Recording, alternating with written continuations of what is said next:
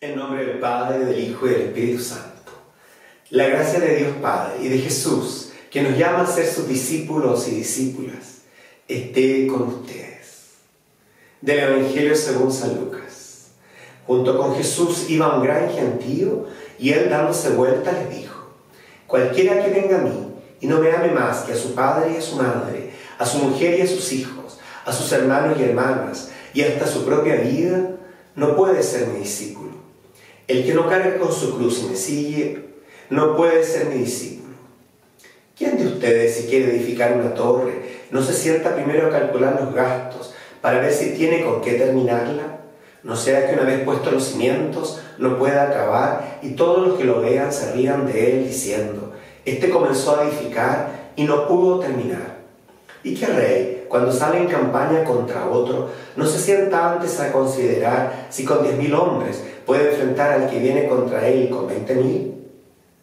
Por el contrario, mientras el otro rey está todavía lejos, envía una embajada a negociar la paz.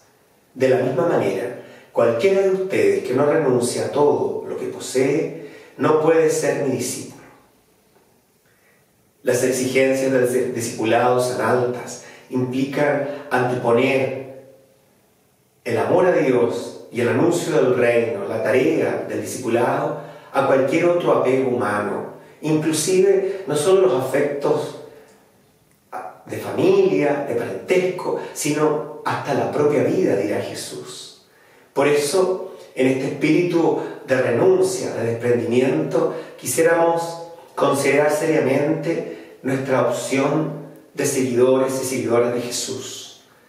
Hoy día, por la intercesión de San Martín de Porres, este hombre que también supo dejarlo todo para abrazar la vida de pobreza y de entrega religiosa, sea un estímulo a nuestro propio seguimiento maduro, honesto, pero radical de Jesús.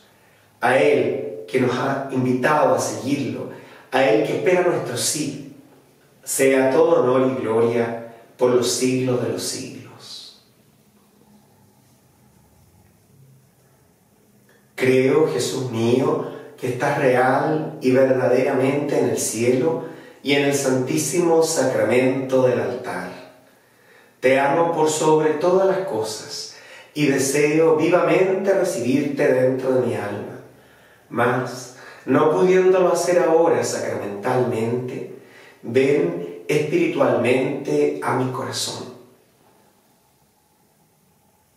Y como si ya te hubiese recibido, te abrazo y me uno del todo a ti. Señor, no permitas que me separe de ti. Que por la intercesión de San Martín de Porres les bendiga el Dios que es, Padre, Hijo y Espíritu Santo.